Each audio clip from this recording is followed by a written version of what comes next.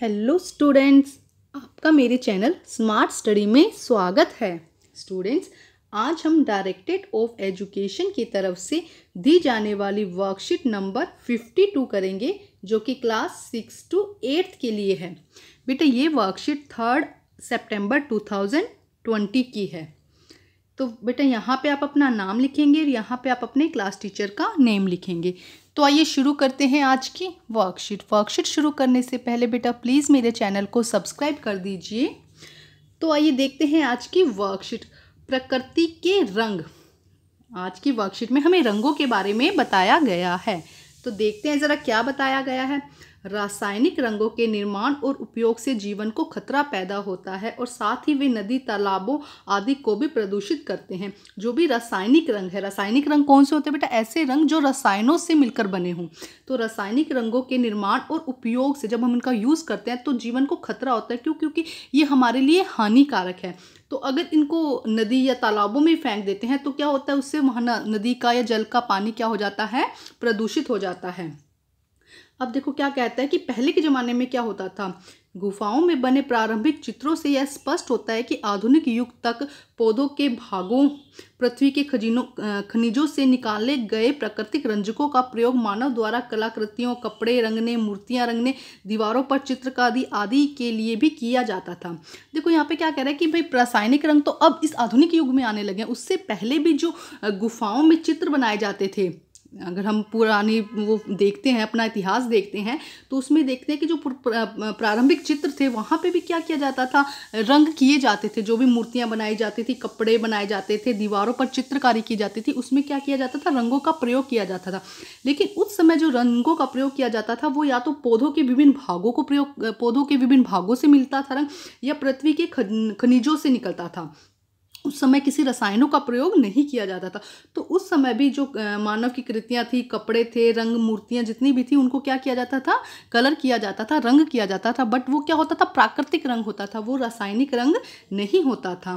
देखिए आगे क्या दिया गया है आपकी वर्कशीट में। प्रकृति से प्राप्त हर रंग अनोखा है। हमें क्या होता है? प्रकृति से भी विभिन्न प्रकार के रंग मिलते हैं। देखो क्या है? विशेष रूप से पौधों और मिट्टी से प्राप्त प्राकृतिक रंग पर्यावरण की दृष्टि से सुरक्षित होते हैं। और जो रंग हमें पौधों से मिलता है, वो क्या होता है? वो हमारे लिए अच्छा है। पर्यावरण के लिए भी क्या है? अच्छा है। रसोई के घर के साधारण सामान में कोई भी रंग, प्राकृतिक रंग बना सकते हैं। हम घर में बहुत सारे कलर्स यूज़ करते हैं जो क्या होते हैं? प्राकृतिक रंग होते हैं। जैसे कि हल्दी हल्दी का कलर कैसा होता है? येलो पीला कलर होता है ना? तो अगर हल्दी से आप किसी कपड़े को रंगेंगे तो कैसा कलर आएगा? पीला। चुकंदर से गुलाबी या लाल रंग। इसी तरह भूरा रंग किससे आ जाता है? बगीचे की मिट्टी से या कॉफ़ी से? कॉफ़ी को अगर आप किसी कपड़े पर रगेंगे या किसी भी मूर्ति जिसको भी आप चाहते हैं कलर करना, उसको कलर करेंगे तो कैसा रंग आ जाएगा? भूरा रंग। तो ऐसे रंगों को हम क्या कहते हैं बेटा? प्राकृतिक रंग। ऐसे रंगों को क्या कहते हैं? प्राकृतिक रंग। और ये हमारे लिए अच्छे होते हैं हमारे स्वास्थ्य के लिए और ये क्या नहीं करते? हमारे लिए नुकसानदायक नहीं होते हैं, जबकि जो रासायनिक रंग होते हैं वो हमारे लिए क्या होते हैं? नुकसानदायक।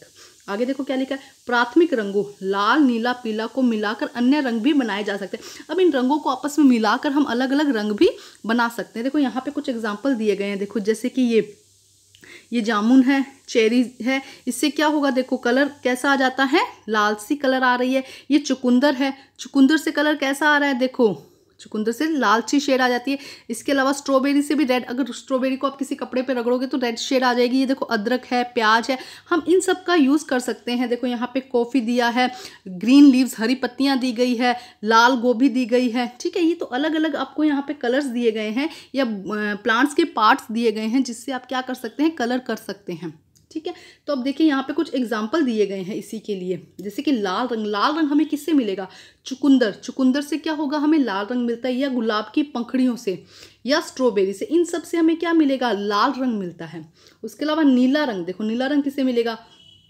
लाल पत्ता गोभी, जैसे दिखाया गया ना इसको मर्जेंटा युक्त गोभी भी कहते हैं। लाल पत्ता गोभी या नील। नील से भी हमें क्या मिलेगा? नीला कलर मिलता है। पीला कलर किसे मिलेगा? देखो, ये तो आपको पता होगा, पीला कलर किससे मिलता है? हल्दी से, केसर से। गेंदे का फूल देखा बेटा आपने कैसा होता है? येलो होता है ना तो गेंदे के फूल से या चाय की पत्तियों से। इन सबसे हमें क्या मिलता है? पीला कलर मिलता है। तो यहाँ पे क्या बताया गया कि हम कुछ, ऊपर देखो लिखा गया हम इन कलर को मिक्स कर, करके एक नया कलर भी बना सकते हैं। तो देखो आगे क्या है। यदि आप एक बार प्राकृतिक रंगों का उपयोग करते हैं तो आप इसकी प्रकृति सुंदरता के मोह में पड़ जाएँगे। अगर आप इनका कलर का यूज़ करने लग जाएँगे तो इनकी जो मोह है, सुंदरता है और एक स्वास्थ्य के लिए जो अच्छे हैं, उस वो आपको बहुत अच्छा लगेगा। आइए अब कोशिश करें हर उत्सव हो या लक्ष्य, हर उत्सव का लक्ष्य हो गो ग्रीन अब हमें क्या करना है? गो ग्रीन गो ग्रीन का मतलब है कि जो भी प्रकृति से हमें मिल रहा है, उसका उपयोग करना है। हमें रासायनिक चीज़ों का, रासायनिक वस्तुओं का, रासायनिक रंगों का प्रयोग नहीं करना है। तो देखो, न केवल होली में, सिर्फ़ होली में ही नहीं, अपितु रंगोली बनाने में, मूर्तियों की सजावट में, कागज़ की पेंटिंग बनाने में हमें प्राकृतिक रंगों का प्रयोग करना है। तो एक बार गो ग्रीन का समझ लो बेटा, ये इंपॉर्टेंट है। गो ग्रीन का मतलब क्या है? न केवल होली में, अपितु रंगोली बनाने में, मूर्तियों की सजावट में, कागज़ पेंटिंग बनने, करने में मतलब हमें कुछ भी काम में जहाँ पे भी रंग चाहिए तो हमें प्राकृतिक रंगों का प्रयोग करना है, ठीक है? तो ये है गो ग्रीन तो आइए अब इसके क्वेश्चन आंसर देखते हैं। बेटा, क्या दिए गए हैं क्वेश्चन आंसर में? बहुत आसान से क्वेश्चन आंसर है इस बार ना। रंग जो हानिकारक होते हैं, जो रंग हानिकारक होते हैं वो कौन से हैं? रासायनिक रंग या प्राकृतिक रंग? तो रंग हानिकारक कौन से होते हैं? रासायनिक रंग। सिर्फ़ आपको सही विकल्प चुनना है बेटा इसके अंदर। लाल रंग किससे मिलता है? हल्दी से या चुकुंदर से? किससे मिलता है? चुकुंदर से। हल्दी से कौन सा कलर मिलता है बेटा हमको? Yellow. Very good. Go green का मतलब है पर्यावरण के अनुकूल सामग्री का उपयोग करें या हमेशा हरा पहने? तो हमेशा हरा पहने नहीं होगा बेटा। ये क्या होगा यहाँ पे? हमेशा पर्यावरण के अनुकूल सामग्री का प्रयोग करें। मैं यहाँ पे क्रॉस लगा देती हूँ जो नहीं है। नेक्स्ट देखो क्या लिखा गया। प्रकृति के रंगों का प्रयोग करते हुए। जैसा कि चित्र में देखो यहाँ पे एक ड्राइंग दिखाई गई है ना। इसमें क्या यूज़ किया गया? प्राकृतिक रंगों का। इसमें क्या यूज़ किया गया है? प्राकृतिक रंगों का प्रयोग किया गया है। ठीक है? चित्र दिखाया गया है। एक कागज़ पर सुंदर चित्रकारी करिए। आपको क्या करना है? एक प्लेन पेपर लेना है, उस पर सुंदर सी कोई भी ड्राइंग बनानी है और उस पर आपको क्या करना है? जो प्राकृतिक रंग है, जो अभी हमने ऊपर बताया है कि किससे लाल कलर मिलेगा, किससे आपको येलो कलर मिलेगा, उन कलर का आपको प्रयोग करना है, ठीक है? फ़र्स्ट काम तो आपका ये हो गया। सेकेंड क्या है? चिकनी मिट्टी से एक मूर्ति बनाकर उसे पेंट कीजिए। आपको चिकनी मिट्टी से एक मूर्ति बनानी है। कुछ भी बनाइए, जो भी आपको आता है बनाना, छोटी सी शेप जैसे आपको बनानी है, वैसे बनाइए और उस पर भी आपको पेंट कैसा करना है? प्राकृतिक कलर का। आपको रासायनिक कलर यूज़ नहीं करने। जो घर में हमें मिलते हैं या जो पेड़ पौधों के भाग है, उन्हीं का प्रयोग करके हमें क्या बनाना है? उसको पेंट करना है। तो बेटा, आज की वर्कशीट बहुत ही आसान थी और आपकी वर्कशीट कंप्लीट हो गई है। ये पेंटिंग और ये जो ये काम दिया गया है, आप अपनी कॉपीज़ में या अपनी ज़रूर कीजिएगा ड्राइंग वाला काम और मूर्ति बना के अपने टीचर को दिखाइएगा फ़ोटो सेंड कीजिएगा और तो अपनी वर्कशीट को कंप्लीट कीजिए। और प्लीज़ मेरे चैनल को सब्सक्राइब कीजिए। Thank you students